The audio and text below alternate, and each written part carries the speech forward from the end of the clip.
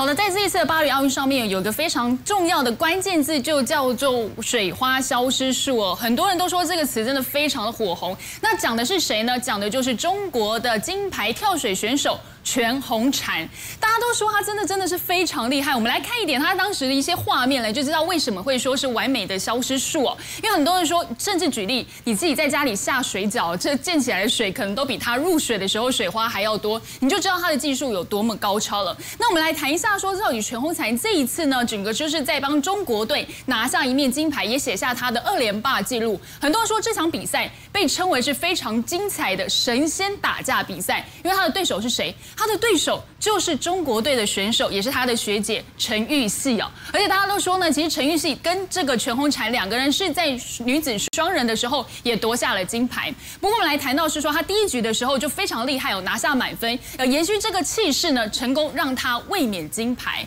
很多人都说，同时他在拿到知道比赛结果之后，他是立刻落泪了，因为他非常非常开心。但是这个眼泪其实是也有故事的，我们待会告诉您。所以我们现在来看到的是，除了大家都知道他已经拿下金牌的时候，在会场上也下起了。娃娃雨，什么是娃娃雨呢？因为大家其实都知道，全红婵非常喜欢娃娃，所以很多粉丝在知道她得了金牌之后，就往场内一直丢娃娃给她，希望她可以带回家。那这个小女孩啊，真的也是全部娃娃都带走，自己带不完的，队友帮忙拿，教练也帮忙拿，就是希望可以把娃娃都带回家。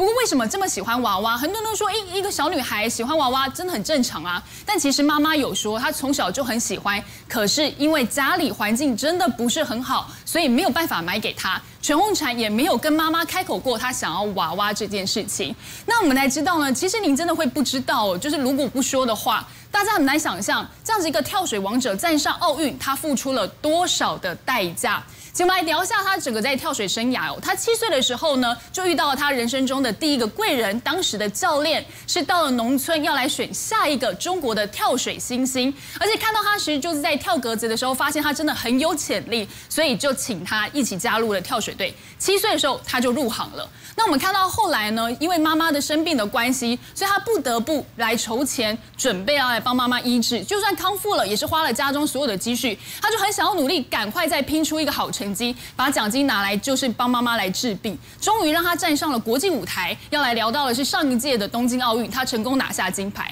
那现在大家都说，到底是谁？除了家人，还有他的第一个贵人是谁支撑他到能够站上奥运的舞台呢？很多人说这两个人一定要提。第一个是我们刚刚说的，同样也是来自中国跳水队的，就是这个选手也是他的学姐，就是陈芋汐哦。他其实呢都有说，这次全红婵在比赛的时候相当的心情不错，原因就是说，如果他就算没有有办法撑住的话，背后还有陈玉系在。另外一个当然就是他的教练哦，他教练被称为是非常仙气的一个教练，叫做陈若琳。其实他真的也非常厉害，因为他其实也是五金的跳水霸主。很多人说，就是因为这两个人加上他努力不懈，让他可以成功站上舞台。而现在全红婵的弟弟也加入了跳水行列，会不会成为下一个新星，也备受注目。时间交给赵和。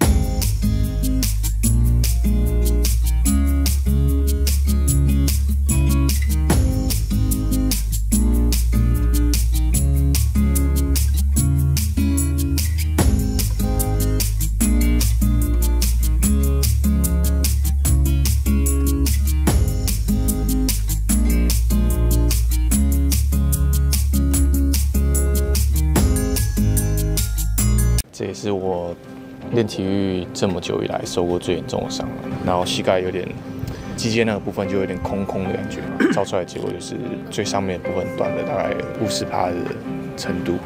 我其实当下听到断的时候，呃，医生建议我不要上去跑的时候，我其实当下蛮难过，就是我有哭了一下，心路历程就其实蛮难受的。那这也是我。其实算是练体育这么久以来受过最严重的伤了，那就有点小难过。对，那毕竟都站到这个舞台上面来了，那我也，因为毕竟自己努力来到这里，来到奥运的舞台上，那我也还是希望站上去，然后带着遗憾的结束它。我来到巴，我七月十九号来巴黎，然后我二十九号去训练的时候，那天其实热身也有做足，那也没有就是说什么膝盖不太舒服怎么样。然后可是跨那天要跨栏架的时候。跨跨第二个栏一上去一推的时候，膝盖就出现一声就是声音，然后膝盖就肿起来了。那原本是想说，哎，就不练栏架还可以跑一下，但是肿起来当下去跑一下的时候，就会觉得膝盖蛮不舒服的，然后膝盖有点就是肌腱那个部分就有点空空的感觉。那我当下是其实希望他不要不要到这么严重，可是回来照。回来给林一周一直照超音波的时候，其实那一边已经肿了一大块，就是，所以我们就安排了这边的核磁共振去照一下，照出来结果就是最上面的部分断了大概五十帕的程度。我其实当下听到断了之后，呃，医生建议我不要上去跑的时候，他们他们说回去要开刀，我其实当下蛮难过，就是我有哭了一下，但。我马上调整好心情，我就跟周文医师讲说：“那开刀要休多久？要多久我才能恢复？”对对对，他大概抓半年到一年的时间。对，但我的心态其实都算蛮好的，我一直都是蛮乐观的心态。就包括就是受伤，我倒倒倒觉得说，可能很少听到你对，可能这是就是我最这是最好的安排了。我觉得没有没有选手，或是没有任何一个运动员想要在比赛场上，没错，对，做最好的自己。我国田径跨栏好手彭明阳这次再度前往法国巴黎奥运赛场，而大家都知道他是个开朗活泼的人，因此特别喜欢和各国选手交换徽章。可以看到奥运才刚开幕，他身上的袋子已经挂满各式各样的徽章。我已经换了四十几个国家了。但是上面已经挂不下了，所以这上面大概有三十三十几个而已吧。哪一个很特别哦？其实我觉得那个那个树懒的树懒的这个蛮特别。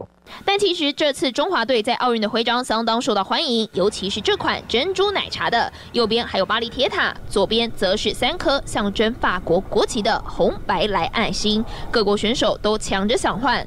另外还有这个台味十足的茄纸袋钥匙圈。这次首度登上巴黎奥运，也是吸引各国目光。中华队选手们自己也爱不释手，挂在身上，一眼就能看出 I come from Taiwan。东森新闻蔡炳如、黄媛媛，法国巴黎报道。推播时间最新的奥运战报，要请伟宏来告诉我们。好，我们继续大家关心二零二四巴黎奥运的最新赛事情况。我们可以看到呢，其实我国的羽球一姐，也是世界的羽球天后戴资颖呢，其实她平时呢就是非常努力来练习哦。那今天我们也可以看到，这画面就是她今天呢，其实出现在了这个巴黎奥运的现场哦。那可以听说，其实这一次呢，她在巴黎奥运的时候呢，是担任我国的掌旗官哦。而她自己也说呢，这会是非常难忘的一次奥运。怎么说呢？因为这一回呢，可说是她的奥运。最后一舞，我们就带你来看到呢戴资颖的小档案哦。其实呢，他的生涯战绩非常的丰富，以五百一十。七场的胜利哦，曾经最高的排名呢，就是在二零一六年的时候拿到了世界排名第一哦，这也是他生涯的最高峰哦。其实戴资颖呢，从小的时候呢，就展现出了他的羽球天赋。我们来看到呢，其实他在国小三年级的时候就加入了羽球队哦，在当时呢是史上最年轻的甲组选手哦。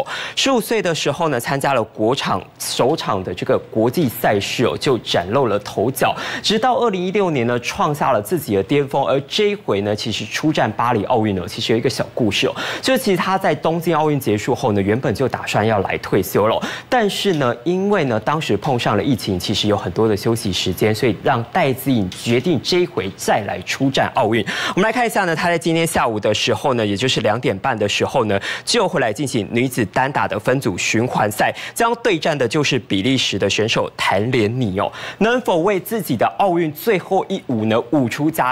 外界都是非常期待。